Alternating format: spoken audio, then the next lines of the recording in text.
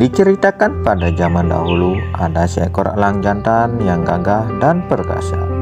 Dia punya mata yang sangat tajam dan dia juga memiliki pelatu runcing dan disertai dengan cakarnya yang sangat tajam serta mematikan.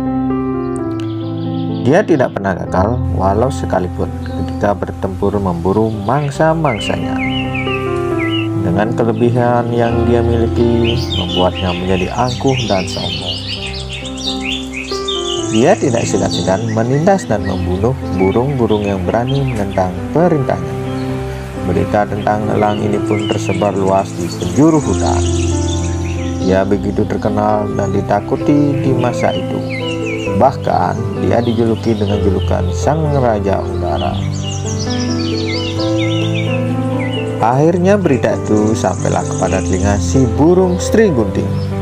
Burung Sri Gunting adalah seekor burung yang memiliki suara yang bagus dan juga memiliki keahlian khusus, yaitu menirukan suara dan gerak-gerik burung lainnya. Dinamakan Sri Gunting ialah karena burung ini memiliki ekor yang terbelah dua, mirip seperti mata gunting yang siap memotong benda yang ada di depannya.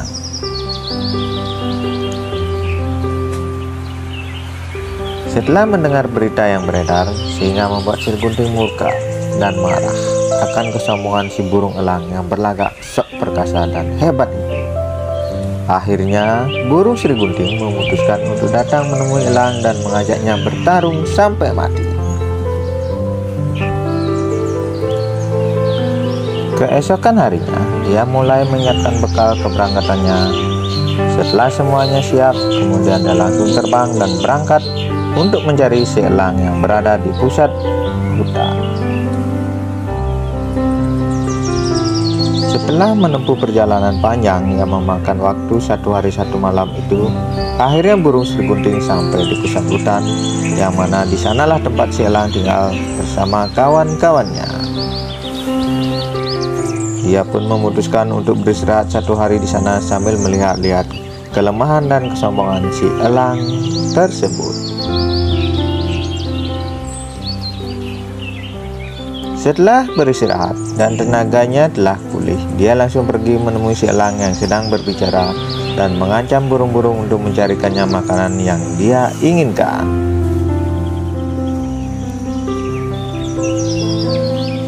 Dan si elang pun terkejut ketika melihat burung Sri Gunting karena dia belum pernah melihat burung Sri Gunting sebelumnya.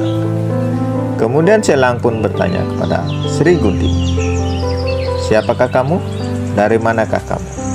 Mengapa kamu lancang sekali dan tidak menghormatiku sebagai raja di sini? Dengan santai dan tegasnya si burung Sri Gunting menjawab, Akulah yang akan mencabut nyawamu. Mendengar ucapan burung Sri Gunting tersebut, si elang tidak terima dan langsung naik pitam. Kemudian dia mengajak si burung Sri Gunting untuk bertarung sampai mati. Untuk menentukan siapakah yang memiliki julukan si Raja Udara. Tantangan si elang pun diterima oleh burung si gunting, namun ada syaratnya. Syaratnya ialah pertarungan akan berlangsung tiga kali atau tiga babak. Babak pertama ialah bertarung membawa garam atau kapas di dalam hujan lebat. Babak kedua adalah adu kecepatan. Dan babak ketiga barulah bertarung sampai mati. Syaratnya pun diterima oleh si elang dengan begitu sombongnya. Babak pertama pun dimulai. Burung Sirgunting kemudian mempersilahkan si elang untuk terlebih dahulu memilih salah satu kapas atau garam, dan elang pun memilih kapas yang ringan. Dia sengaja membawa banyak kapas untuk menunjukkan kekuatannya di hadapan burung-burung yang lain dan sedangkan si burung sirgunting terpaksa milik garam yang lebih berat daripada kapas. Akhirnya, hujan pun turun dengan lebatnya, menandakan pertandingan telah dimulai. Si elang terlihat dengan enteng yang terbang, membawa kapas yang ringan sambil mengejek Sri Gunting yang sedang kelelahan terbang membawa garam tersebut. Namun Sri Gunting tetap bersabar dan optimis bahwa dia pasti bisa mengalahkan si elang yang sombong tersebut. Hujan terus turun dengan lebatnya dan terus mengguyur garam yang dibawa oleh Sri Gunting. Hingga akhirnya perlahan garam itu pun mulai mencair dan berkurang. Berbeda halnya dengan elang. Kapas yang dibawanya justru bertambah berat karena air hujan yang terus meresap ke dalam kapas yang dibawanya itu. Waktu terus berjalan dan ternyata garam yang dibawa oleh si burung Sri Gunting itu pun habis dan lenyap ditelan oleh air hujan yang sangat deras.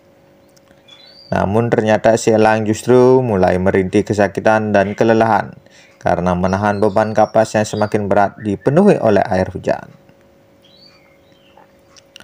Akhirnya si elang yang sombong itu pun tumbang dan jatuh dari angkasa yang sangat tinggi sehingga membuat kepalanya terbentur pada sebuah batu yang keras dan akhirnya elang itu pun mati dan kalah dalam satu babak.